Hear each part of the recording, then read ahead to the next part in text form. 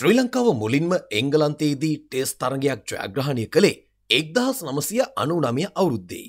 ඒත් ඒක තරංගාවලි ජයග්‍රහණයක් විදිහට සැලකුවේ නැහැ. ඒ නිසාම ලංකාවට තවත් අවුරුදු ගානක් බලාගෙන ඉන්න වුණා එංගලන්තදී ටෙස් තරංගාවලියක් ජයග්‍රහණය කරනකා. ඉතින් ශ්‍රී ලංකාව මේ කඩයිම පහු කළේ දෙදස් දා හතර අවුරුද්දෙදී. ඒ ඇන්ජලෝ මැතිවස්ගේ නායකත්වය යටතේ. මේ ටෙස් තරංගාවලිය මේතෙක් ලෝකයේ පැවැත්වුණු වඩාත්ම තරංගකාරී තරංගාවලි වලින් එකක් කියලා නම් කරන්න පුළුවන්. ටේස් තරග කියන්නේ කම්මැලි ක්‍රීඩාවක් කියලා කවුරු හරි කියනවනම් එයාට මේ වීඩියෝ එක ඉවර වෙනකං බලන්න කියන්න. පාසලන ඔබගේ දුවට පුතාට අවශ්‍ය පින්තූර සටහන් පිටපත් කරගන්න දවස ගානේ කමියනිකේෂන් ගානේ යනවද. චීනී මෙන්ම ජොපානයේ පාසල යන සියලුම දරුවන් භාවිතා කරන ඔරිජිනල් මිනි පෝටබල් ප්‍රින්ට දැන් ඔබේ දරුවාටත් ජංගම දුරකතනය ඇති ඕනෑම පින්තූරයක් ලෝටු තාක්ෂණය හරහා තීන්ත භාවිතයකින් තොරව ඒක්මනින් පිටපත් කර ගන්න මේකෙන් පුළුවන් වාගකින් සාතිකයක් සමගින් දැන්න මේලට ගන්න අමතන්න බිඳුවයි හැත්තහයි පන්සියකු පහයි අනුවටයි හැත්තහයි. දෙදස් දාහතරේ ලංකාව එංගලන්තේ කරපු සංචාරයකදී ටෙස් තරඟ දෙකකින් යුතු තරගාවලියක් පැවැත්වුණා. තරඟාවලියේ පළමු තරගය ජයපරාජයකින් තොරවයි නිමාවට පත්වනේ.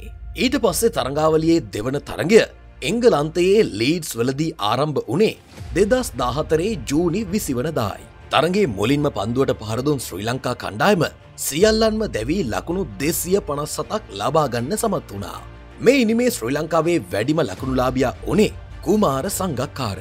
සංගකාර ලකුණු හැත්ත නමයක් ලබා ගනිද්දි දිනේශ් චන්දිමාල් ඉක්මන් ලකුණු හතලිස් පහකින් ශ්‍රී ලංකා ඉනිම ශක්තිමත් කලා. ඒ හැරෙන්න්න අනෙකුත් පිතිකරුවන්ට එතරම් සාර්ථක වෙන්න ලැබුණේ නැහැ. එංගලන්තය වෙනුවෙන් ලියාම් ප්ලංකට්ට කඩුලු පහක් දවාගන්න හැකි වුණා. ශ්‍රී ලංකාවේ දෙසිය පනස් හතට එංගලන්තයෙන් ලැබුණු පිළිතුර උනේ ලකුණු තුන්සිය හැට පහක්. මේ ලකුණු තුන්සිය හැට පහ වෙනුවෙන් තමන්ගේ දෙවන ටෙස්ක්‍රික තරගේ ක්‍රීඩා කරපු සැම් රොබ්සන්ගේ පිත්තෙන් ලකුණු එකසිය විසිහතක් එකතු වුණා. නායක මැතිව් සහ ශමින්ද එරංග අතරේ කඩුලු තුන බැගින් පෙදී ගියා. එංගලන්තයේ පළමු ඉනිම නිමාවට පත්තෙද්දී ඔවුන් ශ්‍රී ලංකාවට වඩා ලකුණු එකසිය අටක් ඉදිරියෙන් තමයි හිටියේ. ලංකාවේ ක්‍රීඩකයන්ට එතරම් හෝරුපුරුදු නැති එංගලන්තය වගේ රටක ටෙස් තරගයක පළමු ඉනිම් දෙක ඉවර වෙද්දි ලකුණු සීයක් විතර පිටිපස්සෙන් ඉන්නවා කියන්න ඉති තවදුරටත් තරගේ ජයග්‍රහණය කරන්න තියා පරාජය නොවී ඉන්න එක ගැනවත් බලාපොරොත්තු තියාගන්න පුළුවන් තත්ත්වයක් නෙවෙයි. එහෙම තත්ත්වයක් එක්ක ලංකාව තමන්ගේ දෙවන ඉනිමත් ආරම්භ කලා. තරගේ තුන්වන දවස නිමා වෙද්දි ලංකාව තමන්ගේ දෙවන ඉනිමට කඩුළු හතරක් දැවිල ගිහි ලකුණු දෙසිය දාහතරක් ලබාගෙන හිටියා. තරගේ හතරවැනි දවසේ උදේ වරුවම සම්පූර්ණයෙන්ම එංගලන්ත පන්දු යවන්නන් අතේ රැඳුනා. ශ්‍රී ලංකාවේ දෙවන ඉනිමේ හත්වන කඩුල්ල දැවිලා යද්දී අපේ ලකුණු තත්ත්වය සනිටුවන් වෙලා තිබුණේ ලකුණු දෙසිය හැත්ත හතක් විදිහටයි. ඒ වෙද්දි ලංකාව එංගලන්තයට වඩා ලකුණු එකසිය හැට නමයක් විතරයි ඉදිරියෙන් හිටියේ. එතින් මේ තත්ත්වයක් එක්ක ලංකාවට තරංගය ගැන බලාපොරොත්තුවක් තියාගන්න කොහොමත් අවස්ථාවක් තිබුණේ නැහැ. ඒත් ඒ වෙලාවේ කඩුල්ලේ එකතුවුණු නායක මැතිව් සහ රංගන හේරත් තරගේ මෝනුවර සම්පූර්ණයෙන්ම වෙනස් කලා. මේ දෙදෙනා එක්ක පන්දුවාර තිස්සකයි පන්දු දෙකක් ඇතුළේ ලකුණු එකසිය හැට නමයක සම්බන්ධතාවයක් පිහිටවන්න සමත් වුණා. ඒ වෙනුවෙන් හේරත්ගේ පිත්තෙන් ලකුණු හතලිස් අටක් එකතු වුණා. හේරත්ගේ දැවියාමෙන් පස්සේ ලංකාවේ ලකුණු ගලාගෙන ඒම නතර වුණේ නම් නැහැ. ඉනිමේ දහවෙනි පිතිකරුවා විදිහට පිටියට ආපු ශමින්ද එරංග පන්දු වෙස්සකින් ලකුණු වෙස්සක් ලබාගත්තා. ඒ තරගේ හැබෑම වීරයා බවට පත්වනේ නායක මැතිවස්. ඇන්ජුලෝ මැතිවස් තමන්ගේ ක්‍රිකට් දෙවියේ විශිෂ්ඨතම එනිමක් දියක් කරමින් ලකුණු එකසිය හැටක් ලබාගත්තා. මේ එනිම නිසා ශ්‍රී ලංකාවට පුළුවන් වුණා තමන්ගේ දෙවන ඉනිමේදී ලකුණු හාරසිය පනස් හතක් එකතු කරගන්න.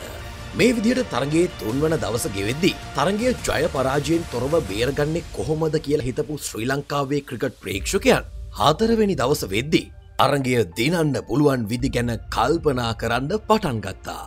දැන් ශ්‍රී ලංකාව එංගලන්තයට වඩා ලකුණු තුන්සිය හතලිස් නමයක් ඉදිරියෙන් තමයි ඉන්නේ. එහෙම තියෙද්දි පටන්ගත්තු එංගලන්ත දෙවන ඉනිම අතරවෙනි දවස ඉවර වෙනකොට ලකුණු පනස් හතකට කඩුළු පහක් විදිහට සනිටුහන් වෙලා තිබුණා. ඒංගලන්ත ඉනිමේ දැවීගිය මුල් කඩුළු පහෙන් හතරක්ම දම්මික ප්‍රසාද්ගේ නම ඉදිරියෙන් සනිටුවන් වුණා. Close,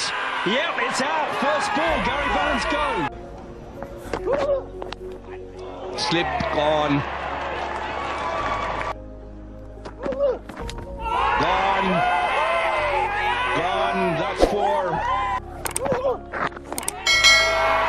that's a brilliant catch. Wonderful piece of bowling. Hostile. තරගේ පස්වැනි දවස පටන් ගද්දී.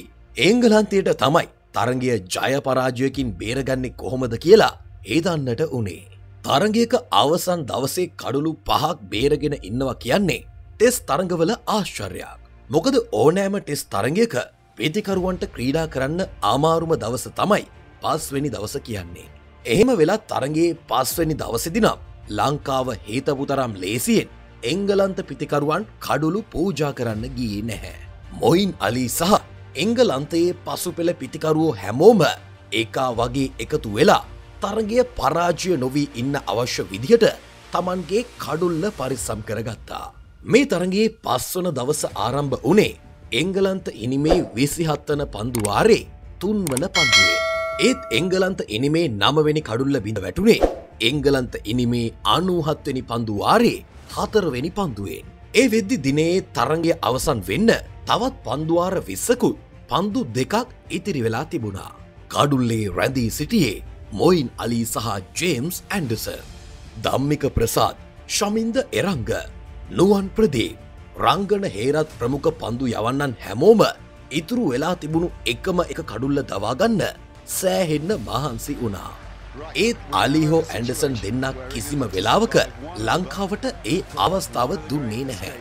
මේ අතර තරගයට ලැබෙන ආලෝක තත්ත්වය ගැනත් ඔඩි පොඩි ප්‍රශ්න ඇතිවෙන්න වුණා.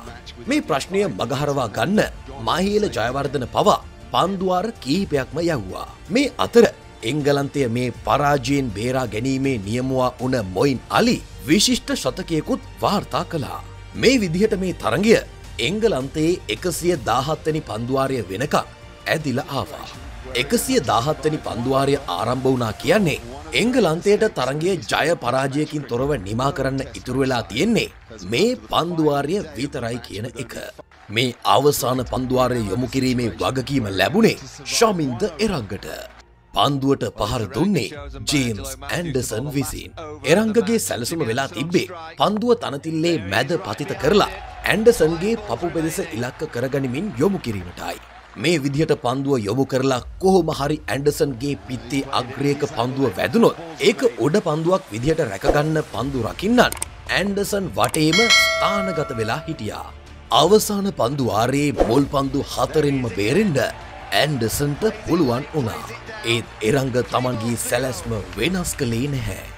පස්වනි පන්දුවේදී ආයවත් ඇන්ඩසන්ගේ පපු පෙදෙස ඉලක්ක කරපු එරංගට පුළුවන් වුණා ඒ වතාවදිනම් යන්තම් පන්දුව ඇන්ඩසන්ගේ පිත්තේ ඉහල අග්‍රයක දවටන්න. ඒ වෙලාවේ බැක්වඩ් ස්කයා පෙදෙසේ ඇන්ඩසන් ළඟටම වෙලා පන්දු රකිමින් හිටපු රංගන හේරත් හරි පරිස්සමට ඒ උඩ පන්දුව රැකගන්න සමත් වුණා. ඒ අනුව ශ්‍රී ලංකාවට තරගයෙන් ලකුණු සීයක විශිෂ්ට ජයක් හිමි වුණා. මොයින් අලි නොදැවී ලකුණු එකසිය අටක් ලබා ගනිමින් කඩුල්ලේ තනි වුණා. දම්මික ප්‍රසාත්ත කඩුළු පහක් වගේම රංගන හේරත්ට කඩුළු තුනක් හිමි වුණා. ඉතින් මේ විදිහට මෑත කාලීන ටෙස් ක්‍රිකට් ඉතිහාසේ පැවැත්වුණු පුදුම සහගත ටෙස් තරංගාවලියක් තමයි ඒ විදිහට එකට බිඳුවක් විදිහට නිමාව දුටුවේ.